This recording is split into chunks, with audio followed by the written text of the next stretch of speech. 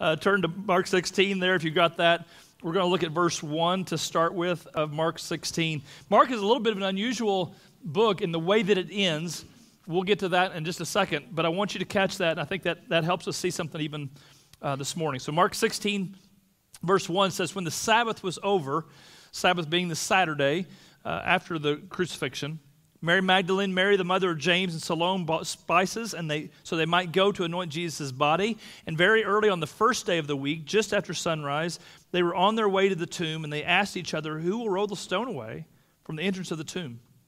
When they looked up, they saw that the stone, which was very large, had already been rolled away. And as they entered the tomb, they saw a young man dressed in white robe sitting on the right side, and they were alarmed. Don't be alarmed, he said. You're looking for Jesus the Nazarene, who was crucified. He has risen he is not here. See the place where they've laid him. But go and tell his disciples and Peter, he's going ahead of you into Galilee, and there you will see him just as he told you. Trembling and bewildered, the women went out and fled from the tomb, and they said nothing to anyone because they were afraid. And then it just stops. It's the weirdest ending of all four of the Gospels. Four biographies of Jesus' life. Mark has always been kind of blunt. He's just straight. To, it's the shortest book. He's straight and to the point. And he gets this place. He says the women were told go out and tell the disciples. They were freaked out and they just didn't. Why did he tell it that way? They didn't tell anybody, not at first. Other Gospels say that when they got their wits together, they went and told the apostles, the leaders of the church, and they were freaked out and didn't believe it either. Now, if you're writing, if you're just making up a story, I say this in case you're trying to wrestle with faith. If you're just making up a story, this is a man made book, why in the world would you put those pieces in there? It doesn't make sense. It makes your leaders look really bad. But that's what happened. They were all freaked out. Nobody was expecting it. And it's as if Mark just kind of drops the mic and leaves it there for us, the reader, to wrestle with. What about you, he prompts? What are you going to think about this empty tomb? The women weren't expecting it. The guys weren't expecting it. No one was expecting it. So, what about you? What are you going to do with the empty tomb? And that really is the question for today. If you're looking at faith and trying to figure out faith and trying to figure out where you're at in your faith, uh, you can get sidetracked on a lot of different side issues, but this is really the issue. If Jesus came back from the dead, then he's king. And we can wrestle with everything else within the framework of that. But if he didn't, we're all wasting a bunch of time. And the Bible says that very clearly. So that's the key issue for you to wrestle with if you're wrestling with your faith. Now, I love how, if you notice there in, in, Mark, it says that some of the earliest manuscripts don't have verses 9 to 20, but some do. I, I read one scholar that suggests that verses 9 to 20 were later added, kind of like Mark's followers put a P.S. on the end of it. Like, oh, Mark, honey, you can't, you can't just end it quickly like that. You've got to add some more details. But that's not the way Mark wanted it. Mark just kind of said, here's the facts, they left. Now, what are you, the reader, going to do? So, what are you going to do? You know, we live in interesting times in our culture. Uh, we, we almost, even as religious participation and church attendance is falling off in our country, we almost universally believe that there's more to this life than what we can see, that there's something beyond.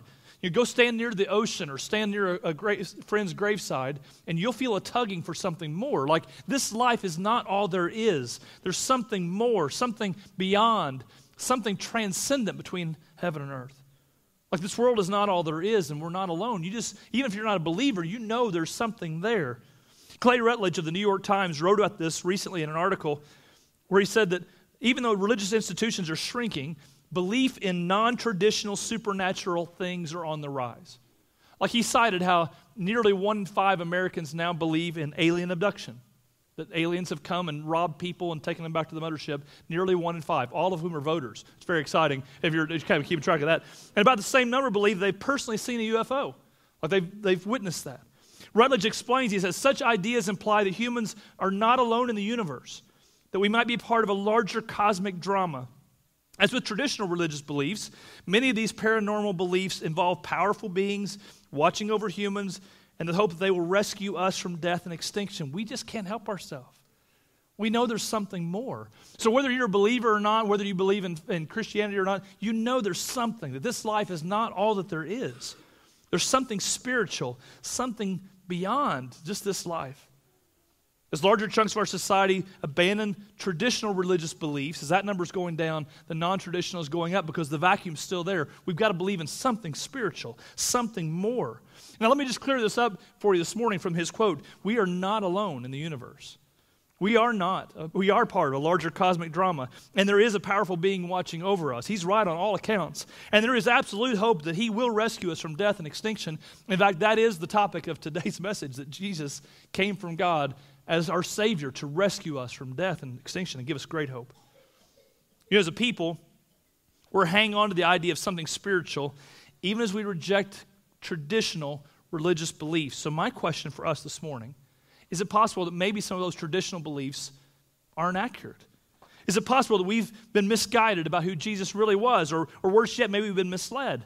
So this morning, I want to try to look to Scripture to clear up some common misunderstandings about what it is that we celebrate this weekend, and more importantly, about where we fit in this larger story that we're trying to, to figure out and we're all part of. One of the most common misconceptions is that Jesus' disciples' lives were changed because of what they believed.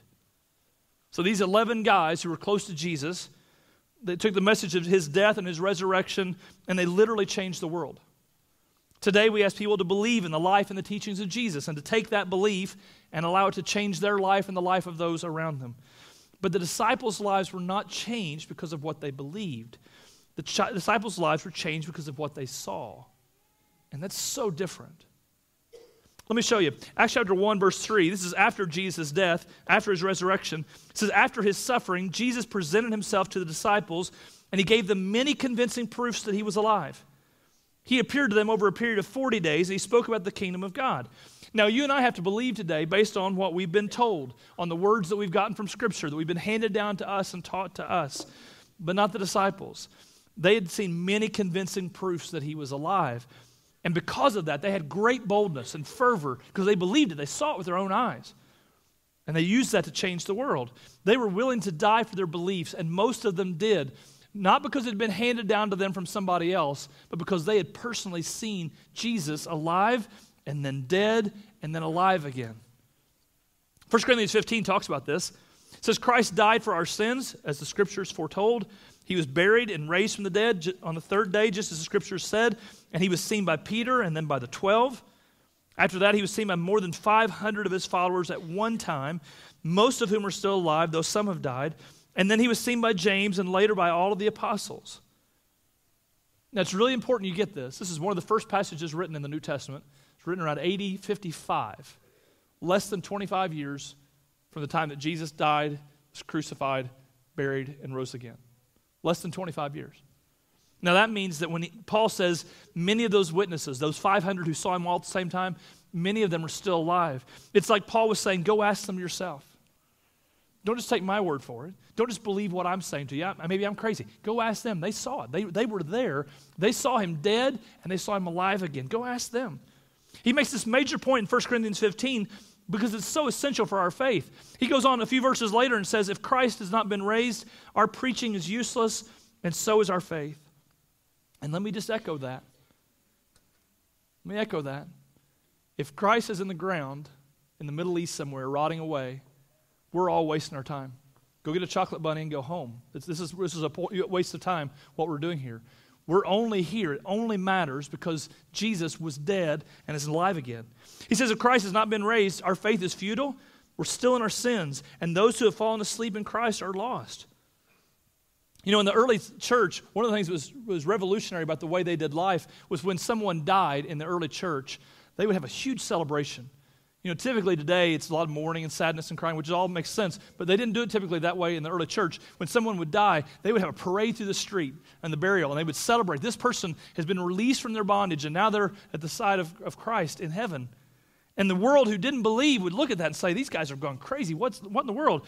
And Paul writes about it and says here, if, that's, if Christ is dead, then all of that's nonsense because they're just gone. They're not there anymore. But they knew it wasn't true because Jesus had conquered death.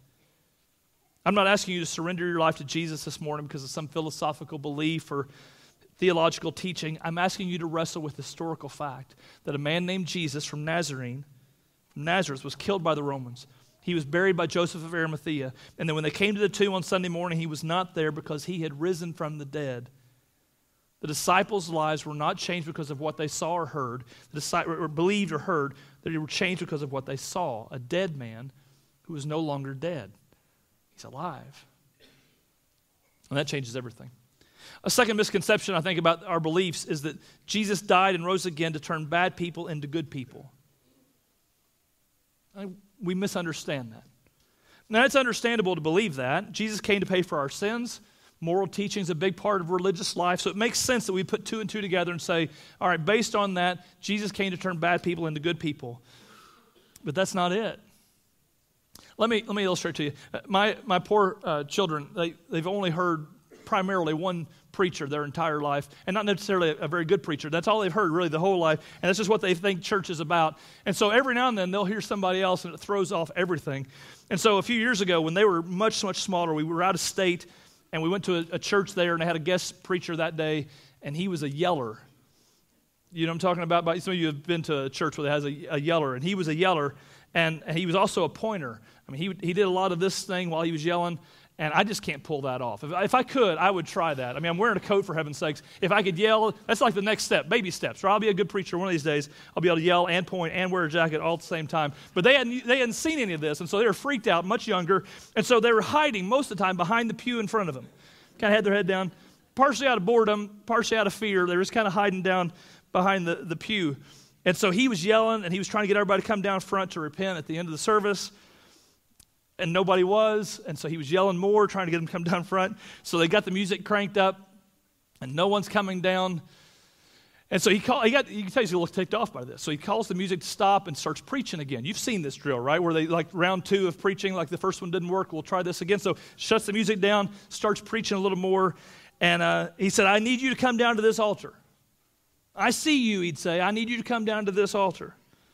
And then I'll never forget my poor little girl's hiding behind the pew. He said, I see you there, hold on to the back of that pew. Let go of that and come down to this altar. And they, they dropped their hands and put their head down, freaked out that he had seen them, right?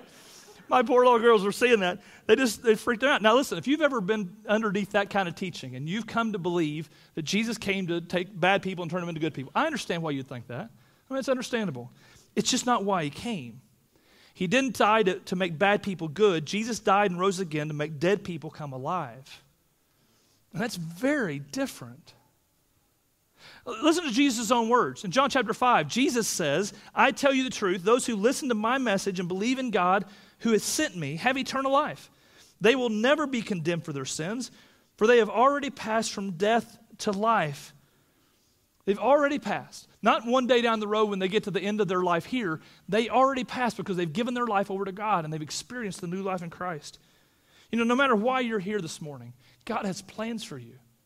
You may think it's an Easter tradition or you're just trying to appease family members or something, but you're here with God in mind. God has ideas for you, He has plans for your life. He came so that you could come to know Him and experience real life, to pass over from death over into life. In Philippians chapter 3, it says, I want to know Christ experience the mighty power that raised him from the dead, the power that raised up Jesus out of the grave, a dead man now to life. That same power is available for us. Christ wants you to experience that. So, this verse really leads to two questions for me. First of all, do you know Christ? Not know about him, not know some details, not know some facts and figures of what he did, but do you know him? Are you in a relationship with God? He wants that. He came and lived and died so that not you wouldn't just know about him, but you would know him. And any relationship takes time and investment and some, some energy and thought. Are, do you know Christ?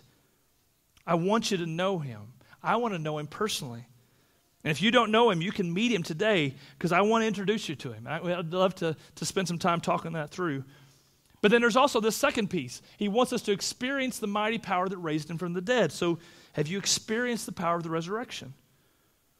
You know, Jesus rose from the dead in part so that you and I could experience that power, so we could pass literally from death over into life right now. Jesus didn't come to make bad people good, He came to make dead people come alive.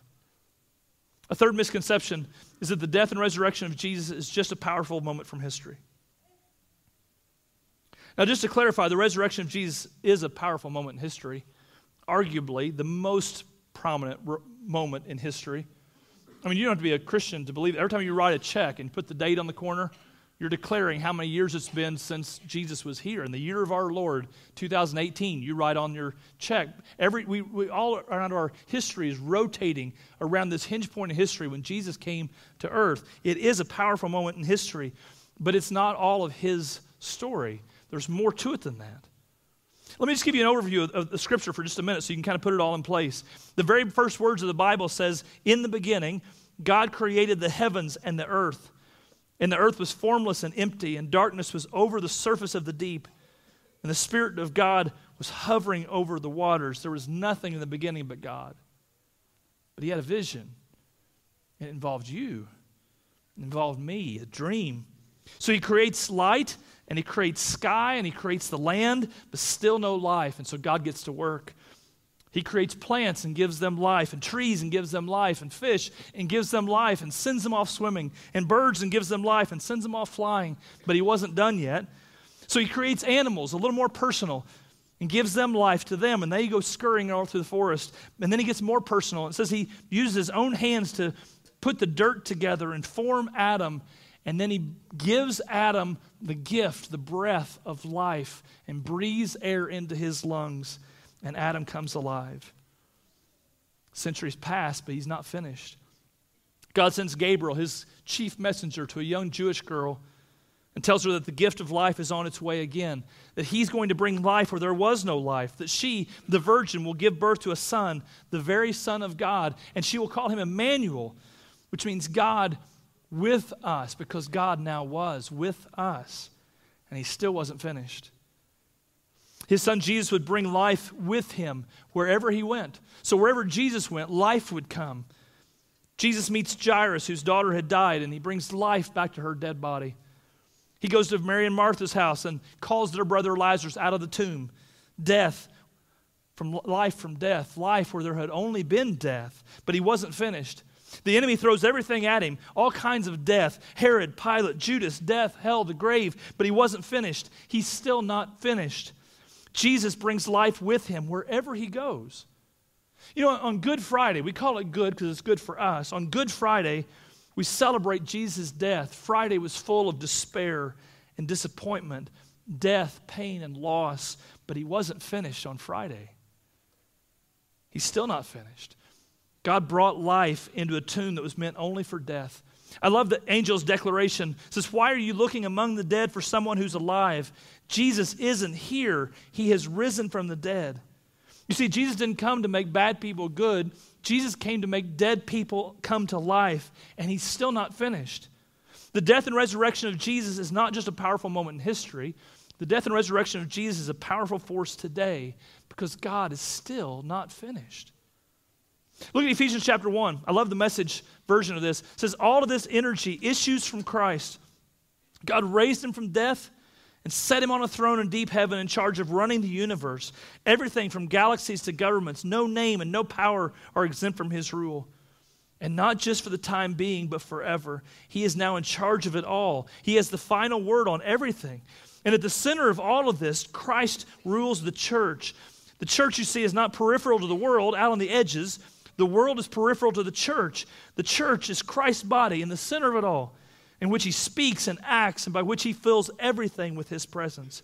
He is not finished, and he wants to work through you to send the power that raised him from the ground so that you and I, the church, could speak and act and fill the whole world with his presence. Because he's not done. We experience the power of resurrection as we become the church. See, we've been misled on that too. The church is not a place that we attend. The church is not a service to go to or a building to sit in. The church is a living organism which we become a part of, his body, through which he speaks and acts and fills everything with his presence. And it's always been this way. If you look throughout the ages, the church has had all kinds of different ins and outs and side trips where they've not done things the right way. But for 2,000 years, the church has been united around her core teachings, her core beliefs. We're going to recite the Apostles' Creed in a moment. It was written 1,700 years ago, and its words are still true. How many things are, have changed in 1,700 years? But can you just picture how many things have changed in 1,700 years, and yet these statements are still the truth? The church has been united in her core beliefs, and the church has been united in her core mission to experience the power of the resurrection, serving the world as the body of Christ, which speaks and acts and fills everything with His presence. That's what we're calling you to today to know Christ and experience the power of His resurrection. When Jesus was on the cross, he, he said a few different statements, short things that were so profound. His last words were three words It is finished.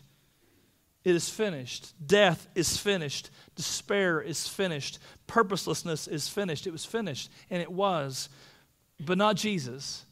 Jesus was just getting started.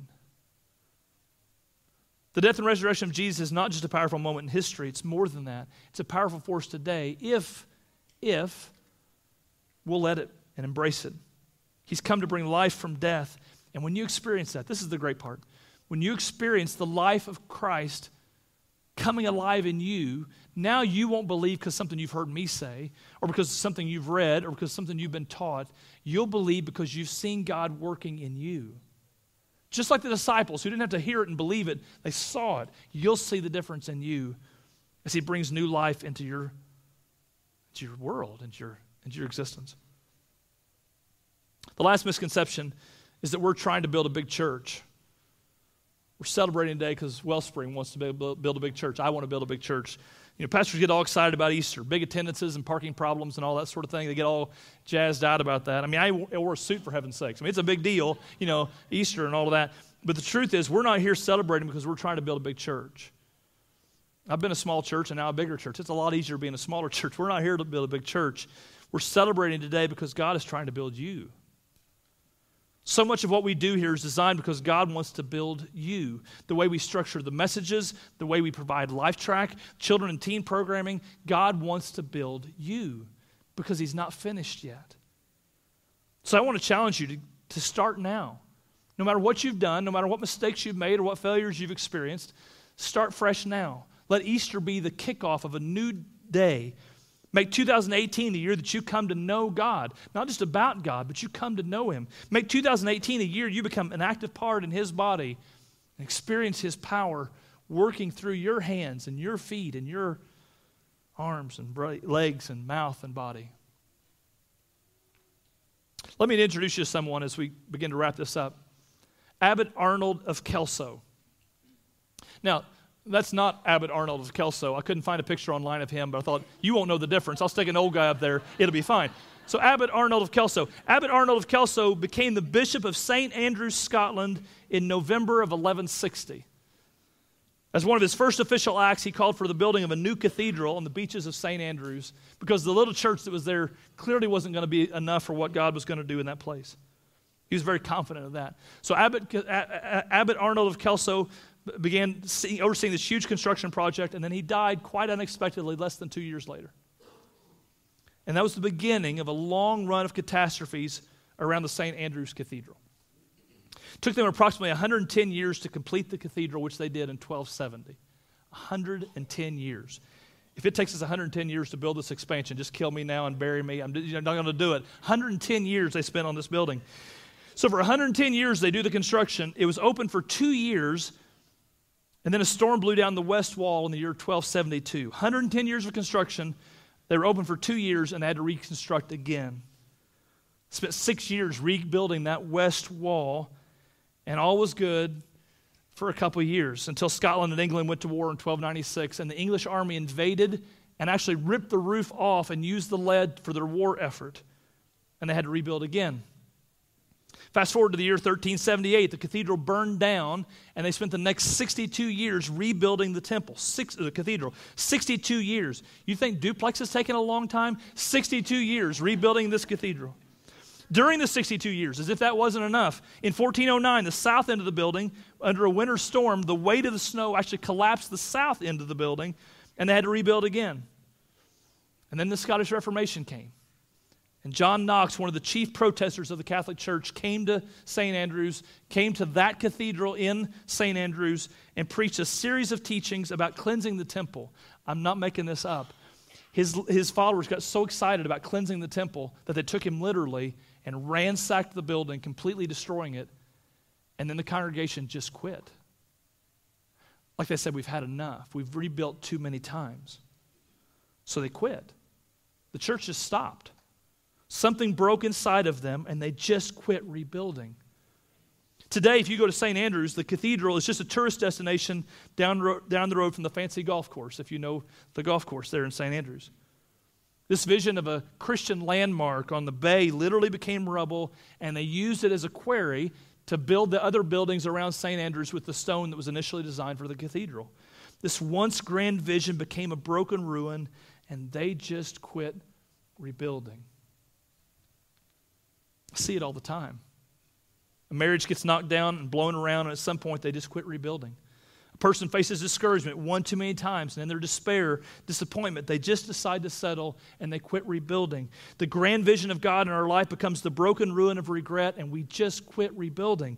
Easter is a celebration of the truth that Jesus has not quit on us. He's not quit on you. He's still in the business of rebuilding. And he wants to build me, and he wants to build you. He declared that he's going to make everything new, and he is. So, no matter what you've done or how you've failed, God wants to know you. God wants you to experience the power of the resurrection in your life because He wants to build you and rebuild you to this grand vision He had. And Easter, Easter offers us a fresh start, a new beginning, a new day. I don't want any of us to leave this building today without inviting God into our life, or at least inviting Him into a greater level to make us a new person. He came to rescue us. So if you don't know the Lord, let's talk. I would love to introduce him to you. I'd love to spend some time talking about your objections and looking at the Bible together. If you've never pledged your life to Christ in baptism, we could celebrate that with you today. We could do that today or this week. Let's make that a priority. Because it's Easter, it would just be logical for me to end today to talk about Christmas. I don't really understand why, but I didn't know what else to say, so I just, it's logical. So we're going to celebrate, talk about Christmas for just a minute. Why do we celebrate Christmas? Anybody know on the 25th? Well, we don't know when Jesus was born, and like anything, you could look online and find multiple stories, but here's the one I've been told that makes the most sense. The scripture doesn't tell us, so it's just his history and things. And the Bible, you know, the scripture didn't, outside of scripture, there wasn't a lot of details about when Jesus was born and all of that. So, church historians, years after the fact, were really enamored with John the Baptist's words about Jesus, where he said, Jesus must become greater and greater, and I must become less and less.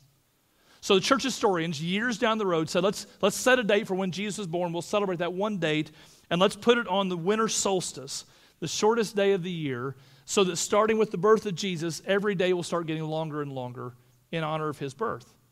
It's a kind of a cool picture.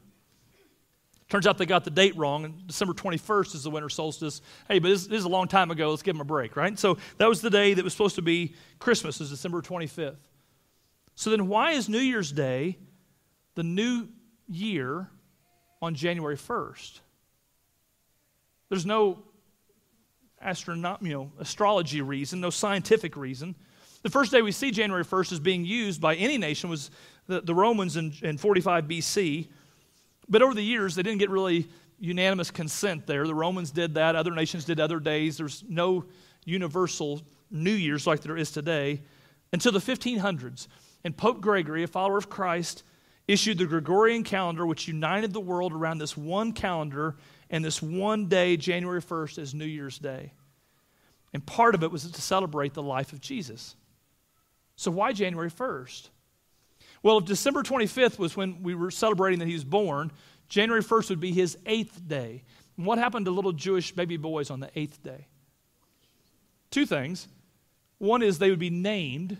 Jewish babies weren't named on day one, they were named on the eighth day. And they'd also, baby boys would be circumcised on the eighth day. So on the eighth day, on January 1st, they would have given him the name of Jesus and they would have circumcised him. On January 1st, his eighth day, they would have given him the name that is above every name, the name of Jesus, and they would have shed his blood for the first time on that eighth day. And so on that eighth day, January 1st, we universally call for a new beginning, a fresh start. Everything is possible because of the name of Jesus, and everything is possible because he shed his blood for us. Now, as cool as that is, I think that makes more sense for today. So I want to ask you to start now and make this a new year. Make 2018 the year that you come to know God, not just about Him, but know Him. And make 2018 the year you become an active part in His body, the church. Make Easter today a new beginning. I'll give New Year's Day to Jenny Craig and Planet Fitness. They can have that day. This day's for you. This day is the day that you start fresh because Easter calls for more. Easter reminds us that new life is here. Everything in our world right now screams this out. The birds chirp it. The buds in the trees declare it. Every freaking dandelion in my yard screams it out. New life is here. New life, a fresh beginning. It's all for you. And God wants you to take that new moment, that fresh start, and come to know Him. He died so it could happen. But He's no longer dead. Let's pray together.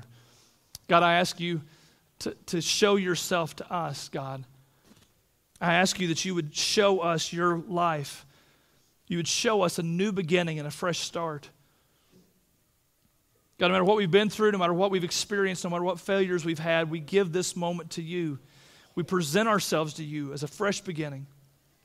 And we ask, God, that you would not only sh- show us yourself, that we would come to know you, but we ask that you would give us a fresh start, a new beginning, that we experience the power that raised you to life raising and changing our life.